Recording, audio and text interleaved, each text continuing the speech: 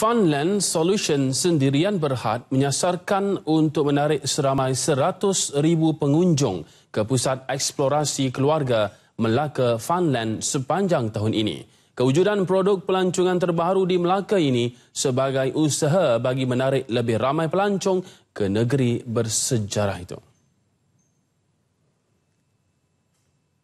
Pelbagai usaha dilakukan bagi mempromosi Melaka Funland yang terletak di Jalan Parameswara Bandar Hilir itu sejak ia mula beroperasi pada Disember 2016. Menurut pengerusinya, Datuk Akramuddin Abdul Aziz, usaha itu dijalankan dengan kerjasama Kelab Beca Negeri Melaka. Beca ni juga uh, sebenarnya memainkan peranan yang amat penting dalam mempromosikan pelancongan di Melaka. Ini merupakan salah satu promosi yang amat baik di samping uh, beliau mendapat menjana pendapatan. Beliau menyampaikan gegantung kepada 30 pengayuh beca bagi mempromosi Melaka Funland di Bandar Hilir.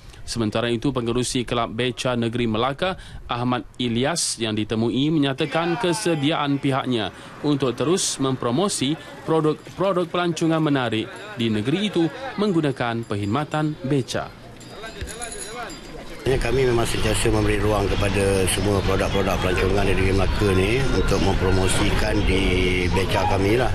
Dan uh, syarikat yang pertama bekerjasama dengan kami adalah Melaka Funland yang mana kami tawarkan kepada mereka uh, promosi selama 3 bulan.